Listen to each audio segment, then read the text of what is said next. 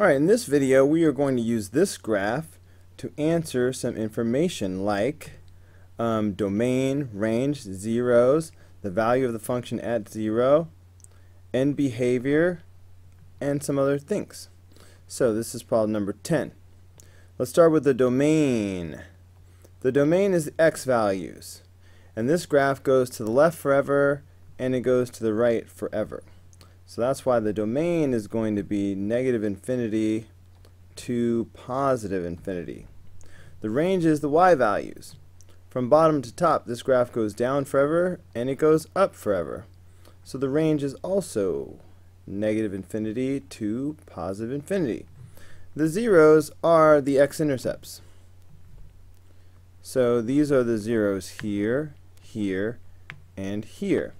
So that's why the zeros are negative 5 comma 0, um, 1 comma 0, and 8 comma 0.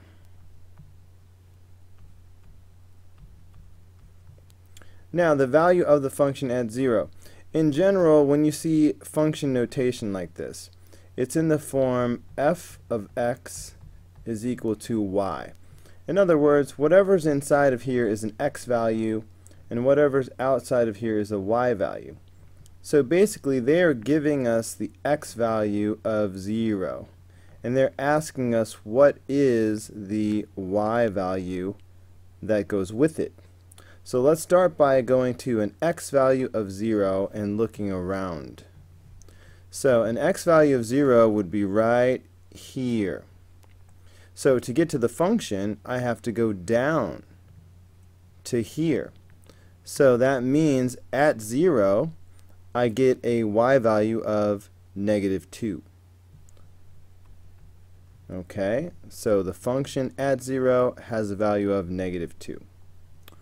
Okay, similarly, when you look at part E, when they say f of x equals 4, you see that um, we're having the x value right here, um, this must be the y value that we're being given. And of course, we are being asked for the x value. So let's start by going to the y value that we're given, a y value of 4. So if I go to a y value of 4, that's right here. Now, I can get to the function by going to the left or to the right. If I go to the left, I'm going to arrive at the function right here.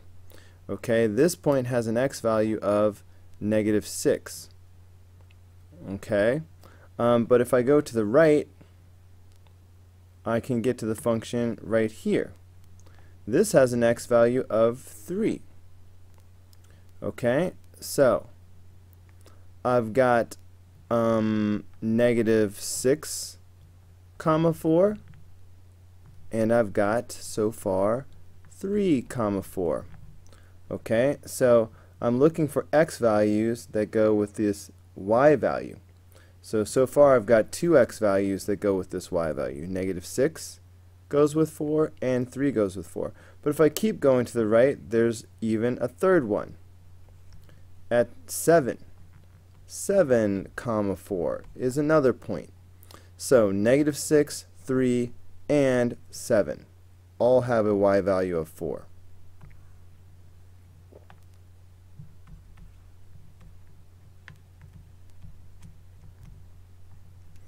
Okay, end behavior.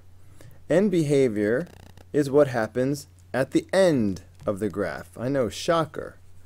So, um, it's all about what happens on the left and what happens on the right. Um, so, as such, we always start off end behavior the same way. Um, for the left, we say as x approaches negative infinity. And then when I, well, let's, we might as well go ahead and talk about that. So what happens on the left? So as I slide to the left, in the end, the graph goes up, up, up, up, up, up, up, up, up. So as x approaches negative infinity, the function, the y values approach positive infinity. That was the up, up, up, up, up, up, up, up, up. Now, that was on the left. Uh, for the right, we say as x approaches positive infinity because we're going to the right. And then again, we're going to be interested in what does the function do? You know, what do the y values do? So as we go to the right on this graph, right here I am going to the right, going to the right, but in the end, I wind up going down, down, down, down, down, down, down forever. So that's why as I go to the right, the function goes towards negative infinity. The y values go to negative infinity. So that's my end behavior. Now let's talk about increasing intervals and decreasing intervals. Um, these are all x values. When we talk about intervals, we're talking about x values. So, um, if I were traveling along this path like a mountain range, um, and I'm going from left to right, part of the journey I'm going downhill, and then part of the journey I'm going uphill, and then part of the journey I'm going downhill again. Everywhere I'm going downhill is going to be um, decreasing, uh, a decreasing interval. Everywhere I'm going uphill will be increasing.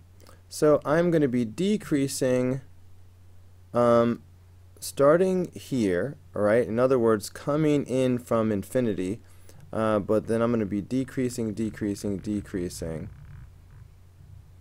all the way down to here. Okay, and then I'm going to start increasing because I'm going to start going uphill then. So I'll be increasing, increasing, increasing until there. And then I'm going to be decreasing again. Alright, so I'll go coming back to decreasing for the rest of the function forever. Okay, so um, let's do our one increasing interval first. So again, these intervals have to be x values. Okay, so the x values from, from here to here, the x values are negative 2.5 to 5.6. So that's my increasing interval is from negative 2.5 um, to 5. okay, just the x value. So negative 2.5, sorry, negative 2.5 to 5, those are the x values. Alright, now let's talk about the decreasing, the ones I drew in pink. Alright, um, what's the x value sort of suggested by this arrow? Um, this is an x value of negative infinity actually. Um, you might be thinking positive infinity because, look, it's going up.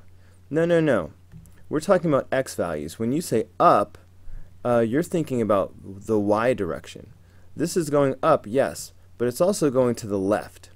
And we are strictly doing x values, okay, only x values.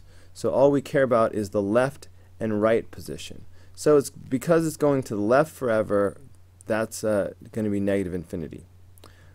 and then um, right here, of course, um, the x value, once again, is the negative 2.5. Alright, so from here to here is negative infinity to negative 2.5. That's a decreasing interval. Alright, so negative infinity to negative 2.5. Okay, because there's two of them, we're going to have to do union and say the other one. So um, this one goes from here to here. Obviously the x value here is 5 and uh, the x value over here is positive infinity. Again, it's positive because it's on the right. We don't care that it's going down uh, because that's y value talk. So 5 to infinity, the pink goes from here to here.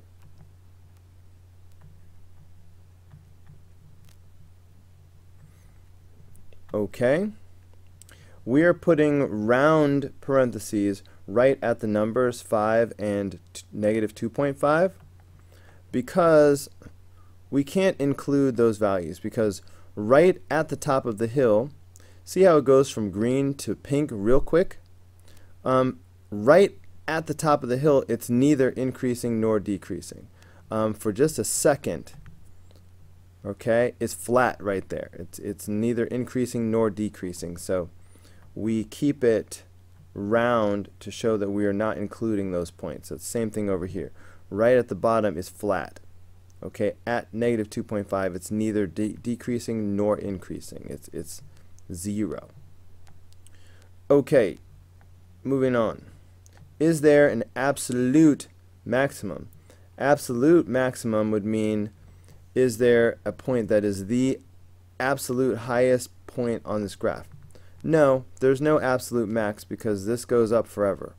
So no matter what point you say, there's a, a point that's higher. Um, so is there an absolute maximum? No, there's not. Where is the relative or local minimum? Um, well, local minimum even though it's not the absolute minimum on this entire graph, um, there is a local minimum that's right here. Okay, this is the local minimum because it is at the bottom of its area. Okay, it is the lowest point in this neighborhood. Um, where is it? Remember, when they ask the question where, they are asking you for an x value. Okay, so where is it? It's at negative 2.5.